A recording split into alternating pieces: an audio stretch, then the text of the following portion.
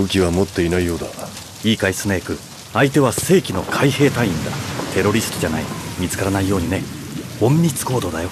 ああいざとなれば麻酔銃でちょっと眠ってもらう。ところでオタコンお前の情報は確かなんだろうな。間違いない。ペンタゴンの極秘ファイルにハッキングしたんだ。痕跡は残さなかっただろうな。信じてくれよ。そんなヘマはしてない。これが罠である可能性もある。俺たちは賞金首だからな。考えすぎだよ。だといいがここからだとごく普通の乗組員にしか見えないな。まさか甲板にいる連中に軍服を着せるわけにはいかないだろう。ハドソン川やマンハッタン湾は船の往来が頻繁にある。リバーサイドからも丸見えだしね。汽水が妙に深い公開計画書によるとハドソン川上流で重油を下ろしているはず。やはりあれがあるということだよ。タイテロ作戦の通常作戦規定にもあるように船への潜入は後部からと決まっているもう少し警戒していてもおかしくないんだが。心配性だな。衛星ビジネスも繁盛している。あれがあるとすればおそらく甲板下の戦争。戦争への入り口はわかるかい？居住区への入り口はいくつかあるようだ。ヘリ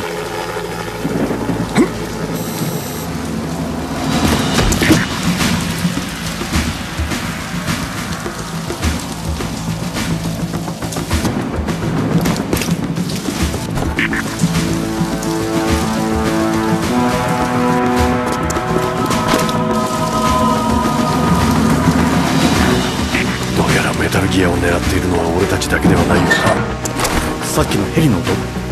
ああおそらく別の部隊だ乗っ取るつもりか？コントロールを抑えるつもりだよ。オタコこの規模のタンカーを制御するには最低何人必要なんだコンピューター制御だから18人くらいかな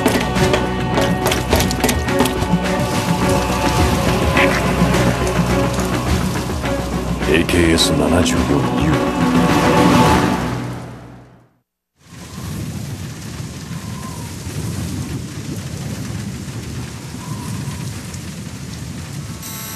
ロシア人間違いない。ジャーヘッドにあんな挑発はいない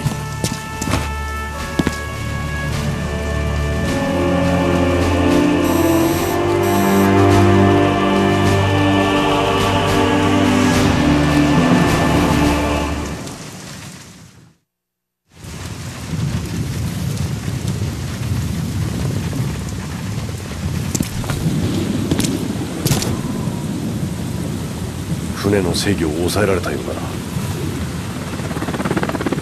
カサッカ。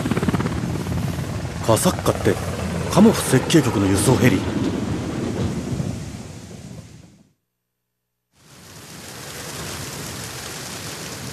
奴らの正体を調べる必要があるな。